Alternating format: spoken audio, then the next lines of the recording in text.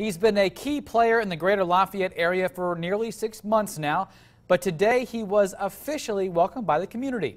Greater Lafayette Commerce hosted an All-American picnic for Purdue University President Mitch Daniels.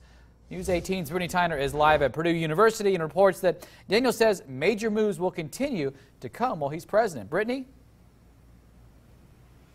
Dan, what better way to welcome Mitch Daniels to the community than with an all-American picnic. Now he has accomplished a lot since he since he got here in January and says he will continue to work on student affordability as well as university spending and revenue. I have lots of interest in uh, President Mitch Daniels, and I was looking forward to the greeting and the meeting. And meeting and greeting is exactly what he did. Greater Lafayette Commerce hosted a free picnic Monday evening to officially welcome Purdue University President Mitch Daniels to the community. Purdue is the largest employer in Greater Lafayette, and Mitch Daniels is, is not just a statewide name. He is known nationally.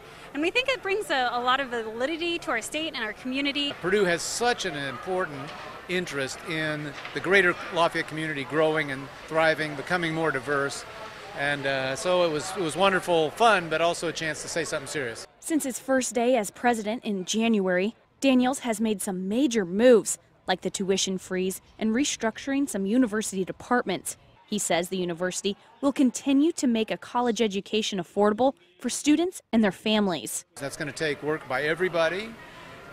We'll work on the spending side, make sure that we uh, don't uh, spend any money unnecessarily. We'll work on the revenue side, try to bring more in from sources other than families' tuitions. And community members are looking forward to see how it pans out. He has lots of ideas and a great vision, so I'm interested to continue to see what he has to say and look forward to his serving in the community of the Lafayette, West Lafayette area.